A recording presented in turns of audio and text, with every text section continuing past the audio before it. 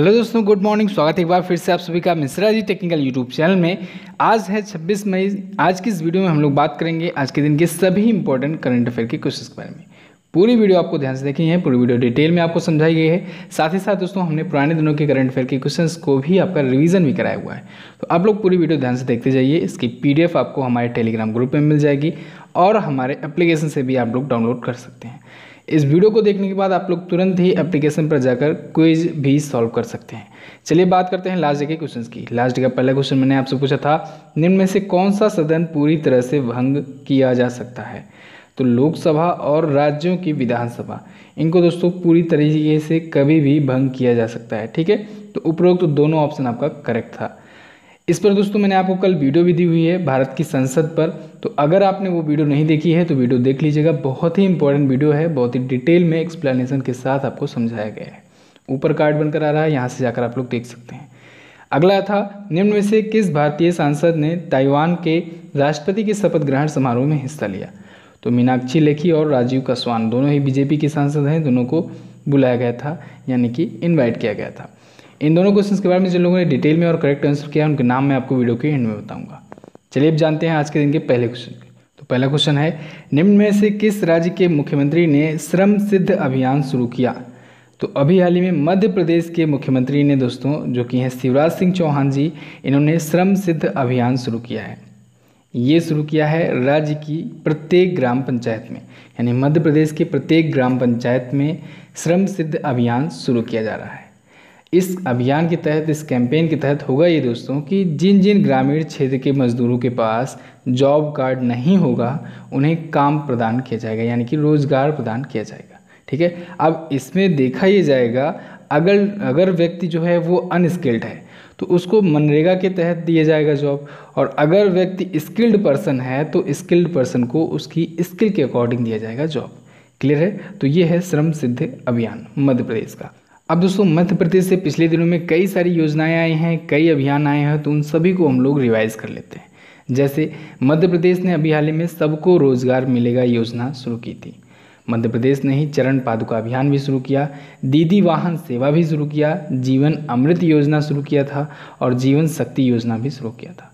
और वहीं FIR note करने के लिए एफआईआर आपके द्वार योजना भी मध्य प्रदेश ने ही शुरू की थी।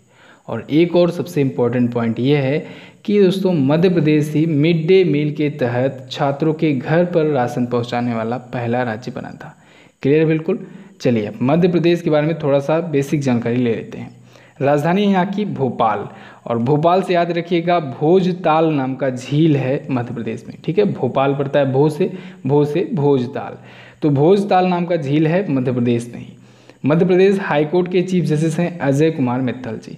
शिवराज सिंह चौहान बीजेपी पार्टी से यहाँ के चीफ मिनिस्टर हैं, गवर्नर हैं Lalji Tandon.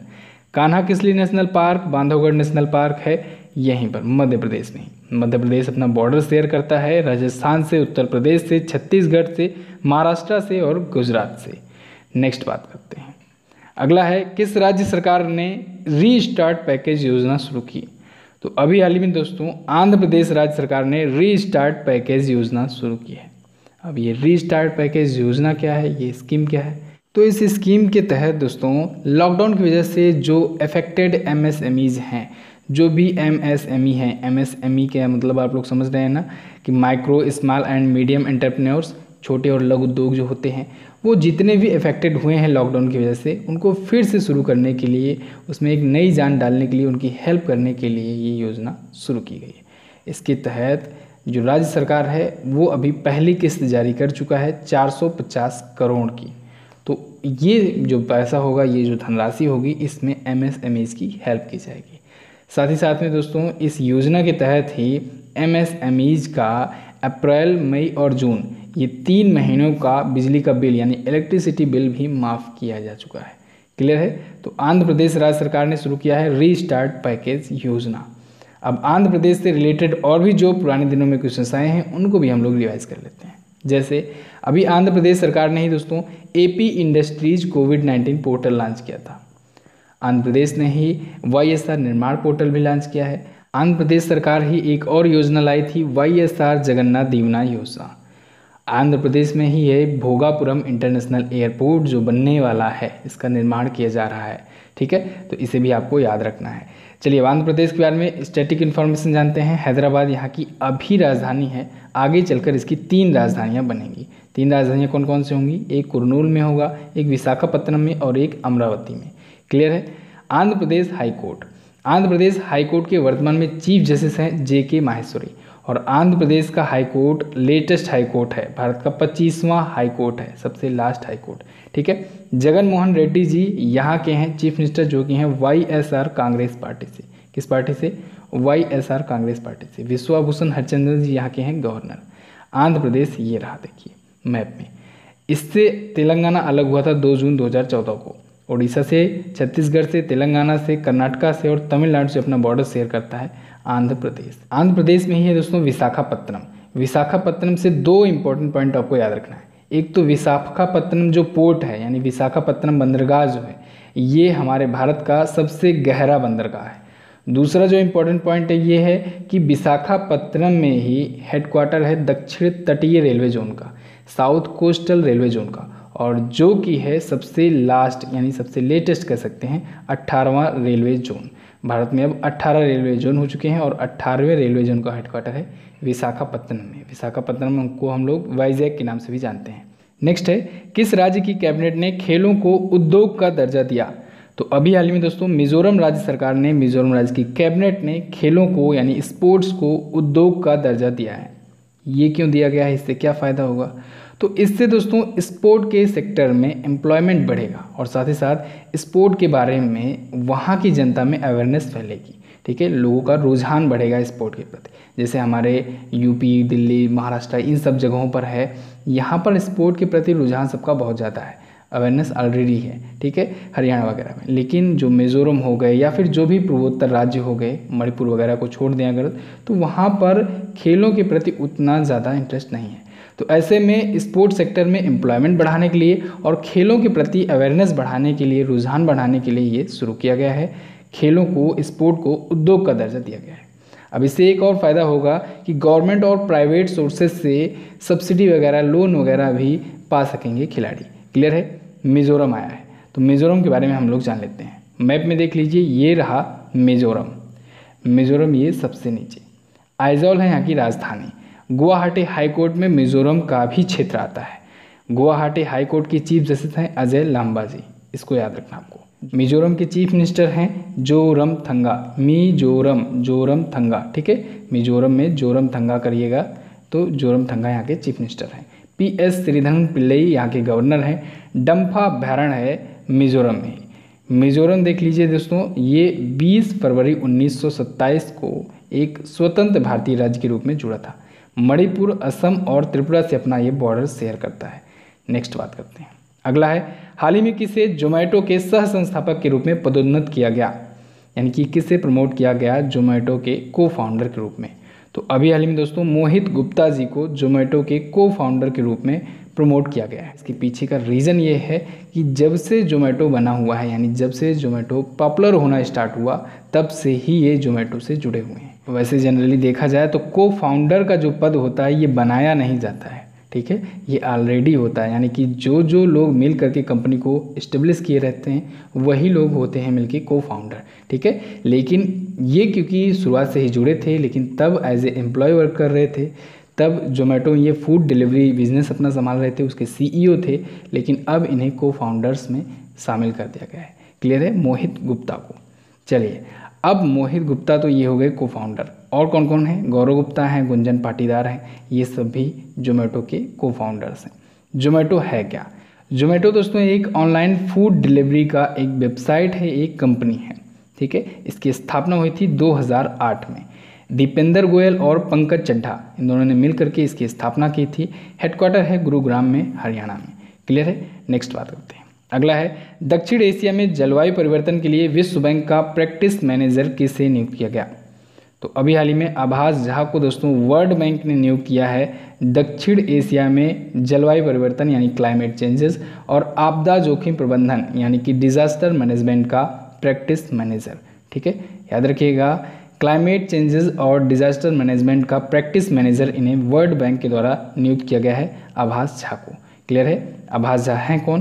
तो इमेज में जो आपको दिख रहे हैं, यही हैं आभास झा, ये इंडियन इकोनॉमिस्ट हैं, भारतीय अर्थशास्त्री हैं। नेक्स्ट बात करते हैं। अगला है, विश्व कछुआ दिवस कब मनाया जाता है? वर्ल्ड टर्टल डे तो ये दोस्तों मनाया जाता है प्रत्येक वर्ष तेईस मई को। तेईस मई को इसे अमेरिकन टेरोटाइज रेस्क्यू द्वारा मनाया जाता है। किसके द्वारा? अमेरिकन टेरोटाइज रेस्क्यू द्वारा इसे मनाया जाता है, जो कि एक नॉन प्रॉफिटेबल ऑर्गेनाइजेशन है दोस्तों। और ये कछुओं के संरक्षण दुनिया भर में इनके कहाँ कहाँ पर प्रजातियाँ पाई जाती हैं और भी जो भी इससे रिलेटेड कछुओं से रिलेटेड जो भी जानकारियाँ होती हैं, इसके बारे में लोगों में अवेयरनेस फैलाने के लिए मनाया जाता है। वर्ल्ड टर्टल डे क्लियर है? पहली बार कब मनाया गया था? तो पहली बार दोस्तों ये सन 2000 में मनाया गया था। कब मनाया गया था? सन 2000 में। वर्ल्ड टर्टल डे चलिए, अब कुछ और जो इम्पोर्टेंट डे आए हैं ऑप्शन से हम लोग रिवाइज कर लेते हैं। और वैसे आपको डे एंड थीम की वीडियो में देता ही हूँ तो उसमें हम लोग मई मंथ के सभी इंपॉर्टेंट डे और थीम को रिवाइज कर लेंगे। 22 मई को अभी सबसे इम्पोर्टेंट डे मनाया गया था बायोडाइवर्सिटी डे जैव विविधता दिवस। 24 मई को अभी कॉमनवेल्थ डे मनाया गया था, अभी कल की वीडियो मैंने आपको बताया था शायद। 18 मई को मनाया गया था दोस्तों इंटरनेशनल म्यूज़ियम डे अंतर्राष्ट्रीय संग्रहालय दिवस। नेक्स्ट बात करते हैं।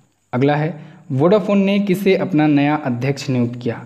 तो वोडाफोन ने अपना नया अध्यक्ष, नया चेयरमैन नियुक्त किया है दोस्तों, वैन बॉक्स मेकर को। किससे? वैन बॉक्स मेकर को। इनका पूरा नाम है Jean Francois ban box maker Jean Francois ban box maker फिर से बोल रहा हूँ, आप लोग नोट कर लीजिए। इनको किसकी जगह पर नियुक्त किया गया है? तो इनको दोस्तों जेराड क्लेस्टरली की नियुक्त जगह पर नियुक्त किया गया है। जेराड क्लेस्टरली अभी भी हैं। ये नवंबर में रिटायर होंगे, यानी नवंबर में इनकी जगह पर आएँगे वैन बॉक्स मेकर नवंबर 2020 में। वैन बॉक्स मेकर दोस्तों, ये हेनेकेन के सीईओ हैं। ये 2005 से ही हेनेकेन के सीईओ हैं। हेनेकेन एक शराब की कंपनी है। बात करते हैं वोडाफोन की। वोडाफोन वोडाफोन की स्थापना दोस्तों हुई थी उन्नीस सौ इक्यानवे में 1991 में। लंदन में है इसका हेडक्वार्टर ठीक है? अच्छा ये जो वोडाफोन आइडिया है, आप लोग इसे इंडिया का सेक्टर मानिए। ये इंडिया में जो वोडाफोन आइडिया है, इसके सीईओ और चेयरमैन अलग हैं और जो मेन कंपनी है वोडाफोन, उसका हेडक्वार्टर है लंदन में। वो कंपनी अलग है। वही जो मेन कंपनी है, उसकी बात यहाँ पर की जा रही है। वोडाफोन आइडिया के अगर सीईओ की बात की जाए, तब आप बताएँगे रविंदर टक्कर। कौन है? रविंदर टक्कर। नेक्स्ट बात करते हैं। अगला है, दुनिया की सबसे तेज़ इंटरनेट स्पीड का वर्ल्ड रिकॉर्ड किस देश ने बनाया? दोस्तों, अभी हाल ही में ऑस्ट्रेलिया ने दुनिया की सबसे तेज़ इंटरनेट स्पीड का वर्ल्ड रिकॉर्ड बनाया है। इसकी स्पीड टेराबाइट पर सेकंड में चेक की गई है। टेराबाइट पर सेकेंड, यानी टीबी पर सेकेंड। इसके तहत एक सेकेंड से भी कम समय में एक हज़ार से भी ज़्यादा एच डी मूवीज़ डाउनलोड हो जाएँगे। एक सेकेंड से भी कम समय में बहुत ही तेज़ स्पीड है ये। इसे सिंगल ऑप्टिकल चिप के द्वारा यूज़ करके ही पॉसिबल किया गया है। और ये वर्ल्ड रिकॉर्ड अब ऑस्ट्रेलिया के नाम दर्ज हो गया है। क्लियर है? चलिए, अब ऑस्ट्रेलिया से अभी एक रिलेटेड क्वेश्चन है, आया था। कल की वीडियो में मैंने आपको बताया था कि चाइना ने ऑस्ट्रेलिया के इम्पोर्ट ड्यूटी को 80 परसेंट तक बढ़ा दिया है। ठीक है? निर्यात पर 80 परसेंट तक का टैरिफ बढ़ा दिया है। नेक्स्ट बात करते हैं। अगला है, हाल ही में स्पेनिश खिलाड़ी आर्टिज अदुरिज ने संन्यास की घोषणा की। ये किस खेल से संबंधित है? तो आर्टिज अदुरिज जो हैं दोस्तों, ये फुटबॉलर हैं। स्पेनिश फुटबॉलर हैं। स्पेन के ये फुटबॉल के खिलाड़ी हैं और इन्होंने अभी हाल ही में संन्यास की घोषणा की है। इसके पीछे का रीज़न इन्होंने बताया है मेडिकल कंडीशन अब इनकी उतनी सही नहीं है, ठीक है? इन्होंने दोस्तों 2016 में एक अद्भुत रिकॉर्ड बनाया था। 2016 में जो है, ये स्पेन के सबसे ओल्डेस्ट गोल्फ स्कोरर बने थे। सबसे बुज़ुर्ग व्यक्ति बने थे गोल करने वाले, स्पेन के, ठीक है? और साथ ही में दोस्तों एक और रिकॉर्ड है इनके नाम कि ये लियोनल मेसी के अलावा, जो लियोनल मेसी हैं, उनके अलावा एकमात्र ऐसे खिलाड़ी हैं जिन्होंने 15 ला लीगा इवेंट्स में लगातार गोल किए हुए तो ये काफ़ी फ़ेमस पॉपुलर खिलाड़ी थे आर्टिस्ट अदुरिज। इन्होंने संन्यास की घोषणा कर दी है। नेक्स्ट बात करते हैं। अगला है, हाल ही में दिग्गज भारतीय खिलाड़ी बलबीर सिंह दोसांझ का निधन हो गया। ये किस खेल से संबंधित थे? तो बलबीर सिंह दोसांझ, दोस्तों, ये हॉकी के खिलाड़ी थे। भारतीय हॉकी के खिलाड़ी थे और बहुत ही लीजेंड खिलाड़ी थे। ये दोस्तों तीन बार के गोल्ड मेडल जीतने वाली जो इंडिया टीम थी, उसके भी ये मेंबर रह चुके हैं, खिलाड़ी रह चुके हैं। कब कब? 1948 में 1948 में 1952 में और 1956 में, उन्नीस सौ छप्पन में। ये तीन बार भारतीय हॉकी ने गोल्ड जीता था लगातार और उस तीनों टीम के ये हिस्सा थे, ठीक है? और ये उन्नीस वाला टीम था इंडिया की हॉकी टीम थी, उसमें ये कैप्टनसी कर रहे थे, यानी कि यही कैप्टन बनाए गए थे। और उसमें भारत ने पाकिस्तान को हरा करके जीता था ओलंपिक में गोल्ड। क्लियर है? अच्छा इनके नाम कई और रिकॉर्ड्स हैं। एक व्यक्ति द्वारा सबसे अधिक गोल फाइनल में करने का रिकॉर्ड है। यानी फाइनल मैचों में सबसे ज़्यादा गोल किसी एक इंडिविजुअल पर्सन द्वारा करने का सबसे ज़्यादा रिकॉर्ड बलबीर सिंह दोसांझ के नाम से है। और इन्हें दोस्तों, ये उन 16 लीजेंड खिलाड़ियों में एकमात्र भारतीय थे, जिन्हें इंटरनेशनल ओलंपिक कमेटी ने मॉडर्न ओलंपिक हिस्ट्री में चुना था। मॉडर्न ओलंपिक हिस्ट्री में 16 लीजेंड खिलाड़ियों को चुना था और ये एकमात्र भारतीय थे जिनको जगह मिली थी।